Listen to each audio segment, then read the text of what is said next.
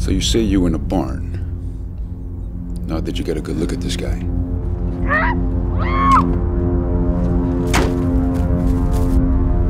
You gotta understand, this guy committed murders, man.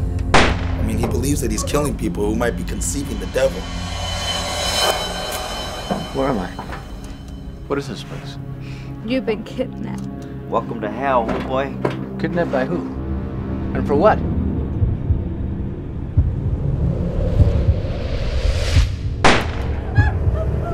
We're paying for the terrible things that we did in our lives.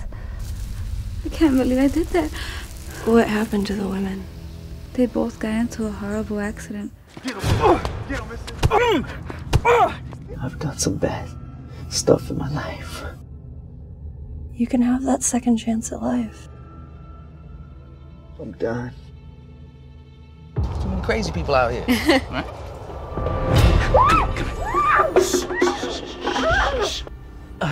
Up, I messed up bad, man. I'm gonna pay for this stuff, man. I'm gonna pay for it. So let's say that the killer was caught and convicted. Oh. Would you say he deserves the death penalty? Yes, absolutely. Why so? He's not a man. He's an animal. So would you say that he was on some kind of a mission?